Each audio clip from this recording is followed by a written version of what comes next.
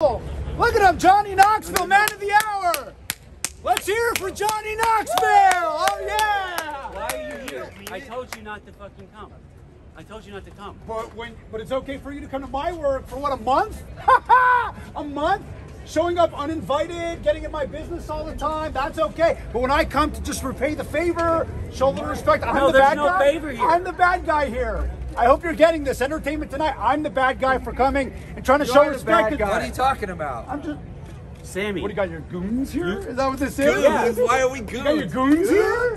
Sami. We're no goons. Look who's talking. You, you were asked not to come. Okay.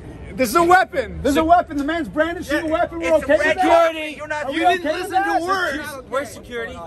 You can look how many security around? photographers there are. Johnny Knoxville's brandishing a weapon, and uh, that's okay apparently, right? We allow valets on the red okay. carpet here. Yeah. Are you having me? go, to- sir. are you having me Time to tossed out? Yeah, time to go. Yeah, but it's a cool Touch system. down, Johnny Knoxville. To- oh, hey, you was down right. Sit you down right. You're all right. Beat it, nerd. No, he prodded him.